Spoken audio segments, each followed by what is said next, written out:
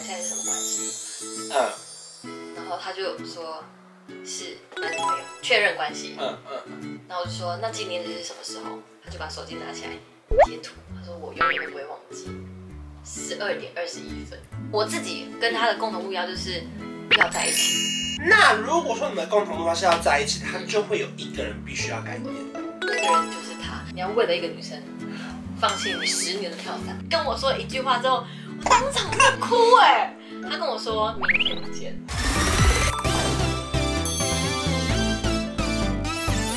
Hello，大家好，我是关爽，欢迎何美来了。我是何美。今天是我们的恋爱教室，哎、就是这里耶，怎么样？好惊讶哦！怎么样很多人来这边都应该会有这种这是我的小房惊间，呼。因为跟何美认识算是蛮久了，，是从大概五六年前因为，你小时候就来过我们家。而，且我来这边拍戏，来人家家里拍戏你是我弟的大学的学姐，没错。然后我们很久以前就看你去演戏啊什么的，然后没想到有一天你就哎、分手了。那时候去关岛吗？去关岛的时候出爱玩客的外景。对，但我说实在，我真的只是单纯去工作，啊，没有想到会陷入一段感情，从飞机上跳下来的那种跳伞，然后他是在后面要搂着你吗？就是顶，就是顶，就是有的那个，就顶着。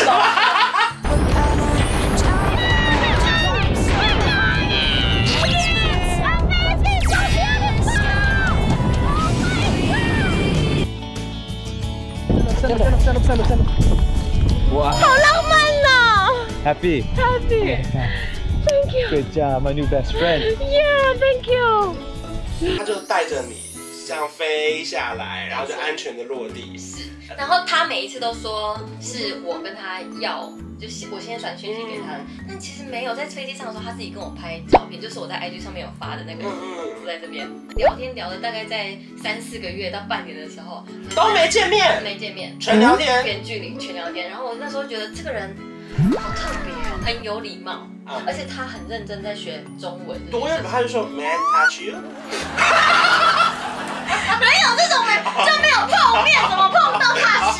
这中间你说聊天聊个三四个月，你会多少有一点小阴影吧？因为你上一段感情可能也是因为远距离的关系离开，可是你那个时候远距离只是在台北的北跟别的城市，对可是你这个远距离是已经到飞到不知道哪里去的关岛哎。我说那那你在聊天的过程中，你会觉得不要不要，我要克制我自己。我有一点这样想。对我会觉啊，得自己很疯，而且身边人都会说你为什么要选一个更远的？我跟你讲，这不是选择，因为你喜欢就真的喜欢了。我我不是在选说哈他好远哦，那我找下一个。哦，就欢、丢丢，啊，就丢丢啊就，丢丢啦。爱爱丢，靠餐喜。可是你真的太喜欢了，嗯，就不小心可能养成了聊天的习惯。是命理专家、啊。我觉得一定要先再见一次面，我才决定我要不要跟这个人在一起。哦，中间你们已经有微微暧昧我觉得有，视讯觉得有，嗯，没有到 没有，视讯一个半小时，他一个小时有二十分钟在弹吉他唱歌这个不是弹吉他唱歌的男生就是加分。因为我你知道为什么吗？因为我不我不太会单字，我不知道怎么单，我只有比手画脚，我说嗯他唱什么？只怕我自己会爱上你。，Can't help 就是什么 Can't help fall in love with you 这种情歌。然后快要半年之后，嗯，然后他就说，我我就决定说我要赌一把，身边的很多朋友、经纪人嘛。嗯嗯，都很担心，说你确定？因为这件事情是你去了，如果他是一个怪人，他把你怎么了，或者是你真的发生危险，我们没办法救你耶。所以你一个人飞去关岛我，第一次人生第一次搭飞机就是为了他，两个经纪人陪我去，就开车的时候他就说：“天哪，我我比你更紧张，为什么我小孩子要送去就是安亲班或者什么的感觉？”但我那时候放手一搏的心点是觉得，如果我这一次真的被骗了，我自己也会保护自己。当然当然当然，但是如果或许你也可能有爽到，应该。然后你知道他做了什么事？像导游一样举牌子吗？他很浮夸，他做了亲手做的花圈，然后他带了一桶是那种我们去钓鱼或什么会放的那种冰箱，嗯然后里面放了鲜花的这这个我项链，然后还有头链，然后还有一个水壶，因为他觉得我会热，然后里面都是冰块，然后就说这是冰水送给你。我当时我当时觉得超丢丢脸。我就说我可不可以快点走？然后后来旁边的导游就认出我是谁，超尴尬。然后就说：“哎呀，你怎么又回来？好开心哦，哈巴爹！”后面几天的时候，我就很认真说我们现在是什么关系，嗯然后他就说是男女朋友，确认关系。嗯嗯，然后我就说那纪念日是什么时候？他就把手机拿起来截图，他说我永远都不会忘记，十二点二十一分，嗯，然后七月十五号。就是在讲的那个当下。然后他就把它存起来，超可爱。他说，因为你们女生不是都很喜欢问说什么时候是纪念日吗，我就可以很准确告诉你说是几点几分。哇！一方面当然会有一些评论等等的问题，但我们两个都很认真的想要往婚姻这条路做努力，所以我因为我们我已经我也不小了。所以你们开始就慢慢的越来越常相处了，不管是你飞过去，他飞过来。对。那接下来呢，就是你们就会维持这样的关系吗？我觉得远距离有一个非常非常非常重要的一件事，就是要有共同目标。你们就算有这个目标，但有一个人觉得哈，我好像不行了。没有共同目标的时候，你一起努力真的都没有用。因为很多时候远距离的问题就是说，我不想听你的同事们的鸟事，或是你不想听我的主管的鸟事。我们的生活越来越远了，甚至我的工作可能看起来很忙碌，他的工作可能比较像是一板一眼的做好一件事情，是不是他就会开始出问题了嘛？我自己跟他的共同目标就是要在一起，要真的就真的在一起生活的那种在一起。那如果说你们共同目标是要在一起，他就会有一个人必须要改变。那个人就是他，他完全没有要求过我说啊，你可不可以放弃？可是他这边已经是一个跳伞的教练了，他等于也必须得放下一些什么。我在圣诞节的时候去西雅图见他爸爸妈妈，跟跟他所有的家人。那个时候，他因为想要做礼物给我，因为他觉得我什么东西都有了，我不缺什么，嗯，他就问我说：“你喜欢长夹还是短夹？”后来他就真的做了一个钱包，从零到有，然后自己学。哇！然后等到他把工作辞了之后，他来台湾做的事情就是做零件。我觉得其实不管是他也好，或是你也好，其实这都是很勇敢的表现。嗯，因为他愿意放下一些什么，甚至过来这边之后，你得开启一个新生活。因为甚至不知道你们假设在台湾住在一起会不会其实文化差异越来越明显，这些都是有可能会发生的。我觉得他比我勇敢太多了。你如果说此刻我要我搬去西雅图的话，我真的不行，我在那边会饿死。你说西雅图咖啡。你说这样过来，他就这样直接过来吗？这么顺利？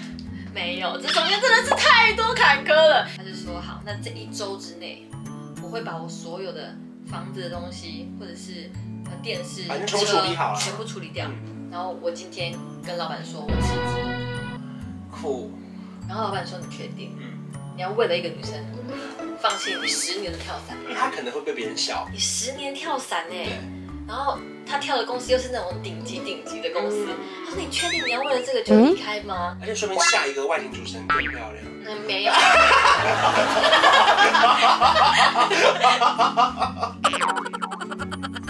真的好笑。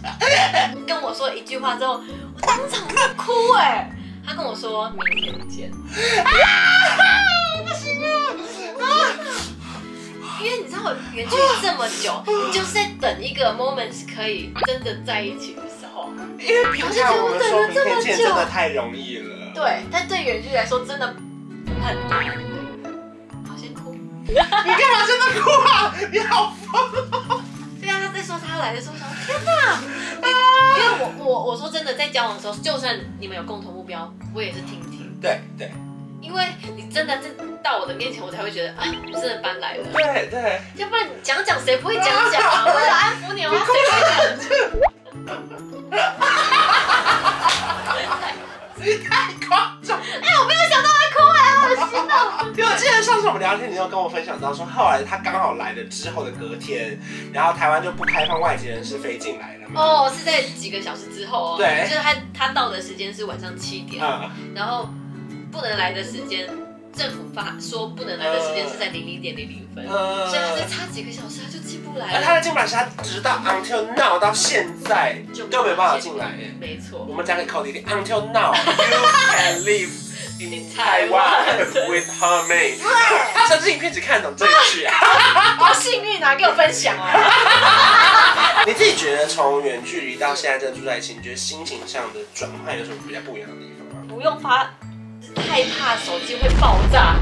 我那时候就觉得手机太烫了，然后每天只能隔着手机跟这个人讲话的那个感觉，嗯虽然心很近，但是我觉得这是完全不一样的体验。可是有没有因为他的出现，让你真的愿意再一次相信爱情这件事情？有，我觉得再一次相信爱情，真的是因为他付出了很多，然后我也决定再给自己一个值得被爱的机会。好感人是哦！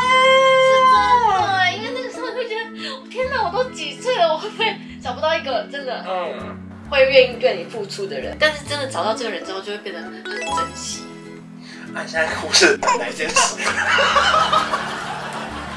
我想说，刚刚讲的时候，哎，我直接忘记了，这种吵架也超容易忘记的。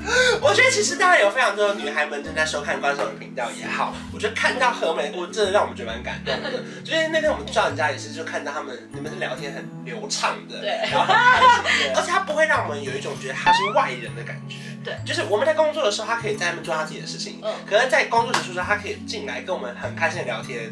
然后我英文也还不错，他说：“哎、我其实蛮多词汇我会的。”我跟你讲，好厉害哦！逼出来有鼻，我可以用过去完成式哎，你知道吗？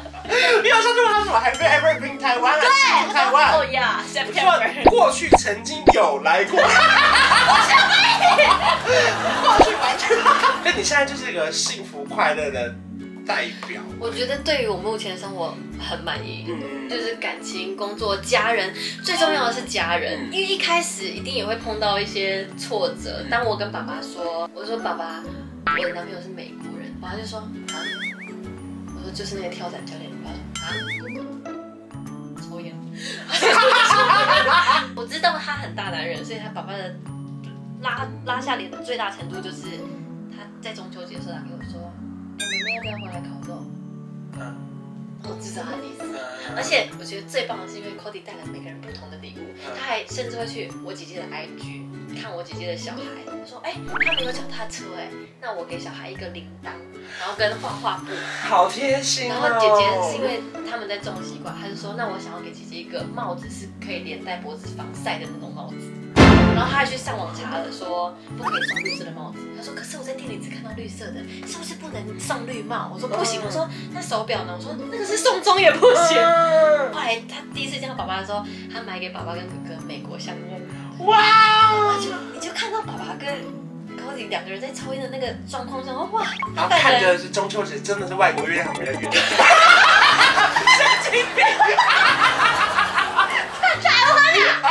他说真的呢，没有。然后 Cody 还讲说，我平常不抽烟，但是为了爸爸我可以。嗯如果说现在在收看这支影片的人呢、可能有非常多女孩，她们可能 maybe 在受伤，或是找不到方向，你觉得要给他们什么样的建议，或者心理的状态要怎么调整？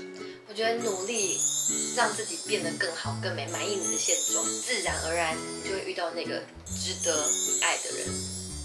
好感人哦！谢谢何美，谢谢。